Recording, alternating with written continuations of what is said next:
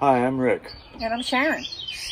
We are Cargo On. Cargo Conversion Build and Camp. We feature camper tours, interviews with builders, campground reviews, and we offer camping tips. If that's your cup of tea, then please subscribe.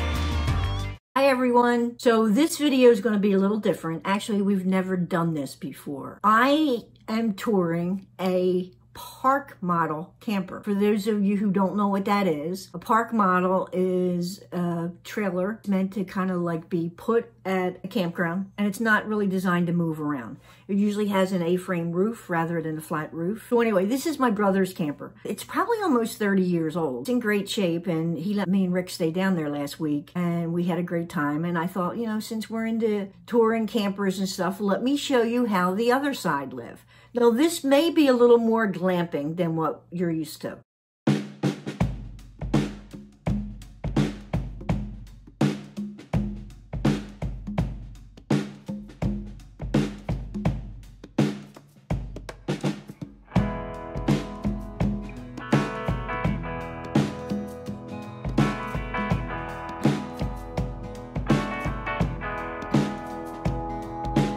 So this is the front of his trailer.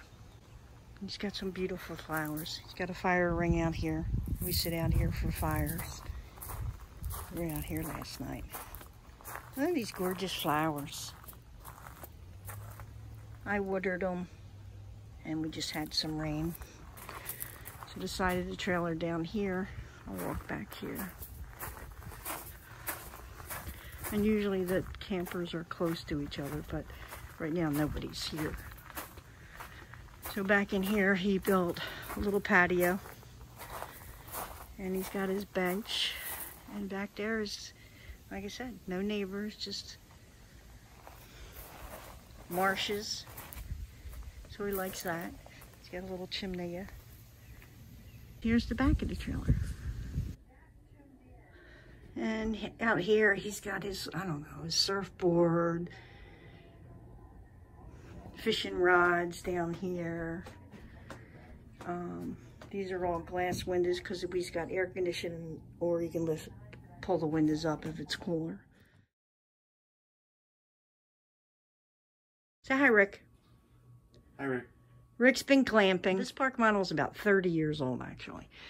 So it's the park models usually got the vaulted ceilings and you don't drive a park model around. He bought this brand new about 30 years ago. Um, he can have the kitchen table in here. He moved it out. He added a porch on here. So it's in pretty good shape for 30 years old. So, well, there's his liquor. So we that made us happy. But one of the really unique things about this camper is it has two full bathrooms which I've never seen before. So, like I said, there are literally two full bathrooms in here. I'll show you the other one in a minute. So, this is the back bedroom. And I really like this. If you look out the windows, it just goes right out to the marshes. And then about a mile out there is the bay. So it's nice and quiet and peaceful.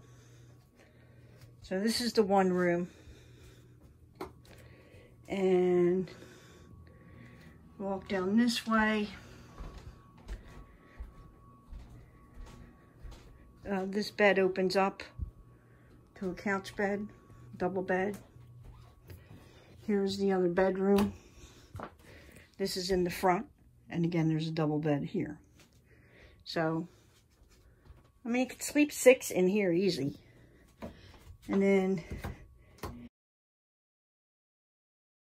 so back in here is the other bathroom with a shower. And like I said, it's two full bathrooms. So I've never seen that in a trailer. And out here, like I said, there you can see the vaulted roof.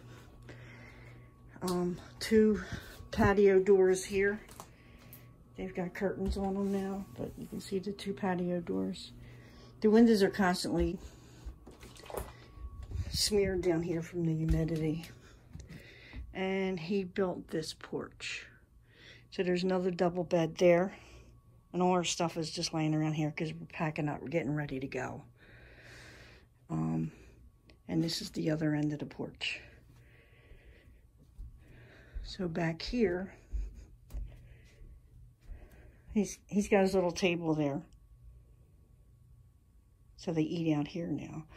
And he's got a little heater because sometimes it gets chilly. One of the highlights about having a camper in New Jersey is New Jersey is the brunt of everyone's jokes, but New Jersey actually has very nice beaches. Years ago, when the real estate market went up, the shore houses went up astronomical. So most people cannot afford a shore house.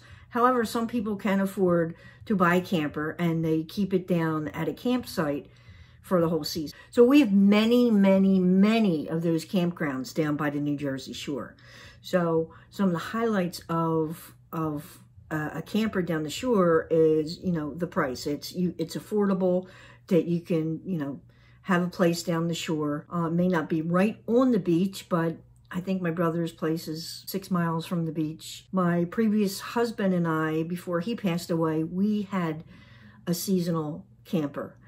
We had it for about 10 years and it was great. I mean, it, you know, one of the things I loved about it was everything was there. We didn't have to pack anything. We just went down there and turned on the hot water heater and we had left clothes and stuff there.